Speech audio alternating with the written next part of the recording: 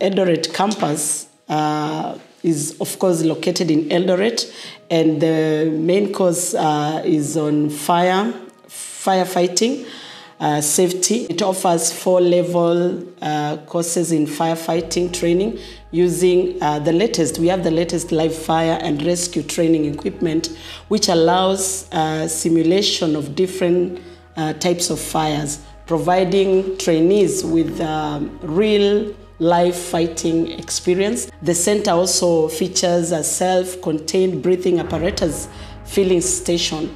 And also, the firefighting training curriculum is based on the Fire Protection Association standard uh, uh, of America. What I will say is this the mission of firefighting is to save lives, save properties and the environment, and also to render humanitarian services. And in, in, in that, we need to make sure life comes first. So, whatever we invest in our clothing, in the equipment, in the fire engines and the like, they are equal to the task. They are meant to be that expensive so that we can save lives because they are that good. We have a provision of every building in Kenya is supposed to be having a fire marshal who is supposed to be the first person to intervene in the event of an emergency to evacuate people from the buildings before the arrival of the fire brigade. So this training in our institute makes sure that the fire marshals are properly trained. I chose MIOG because I saw the kind of infrastructure in KPC in terms of fighting fire. I was able to be given the opportunity to go and study, you know, with other institutions which have similar fire prevention systems.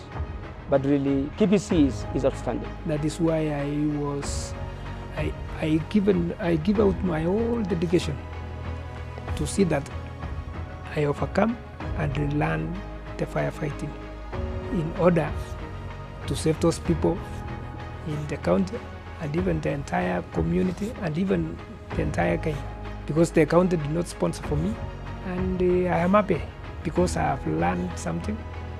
Even when I go back there, I'll be giving out what was there and what I have inspired in my in, in my way. In this class, we have two ladies, and uh, what I want to encourage ladies out there, I want to tell them that nothing is impossible. This course is um, is not only for men. La- even ladies can do it. If you have the passion, you can do it. At uh, Mayog in Eldoret, it is very special for training and for practical lessons like firefighting, using the equipments, and also for physical fitness. And we've learned a lot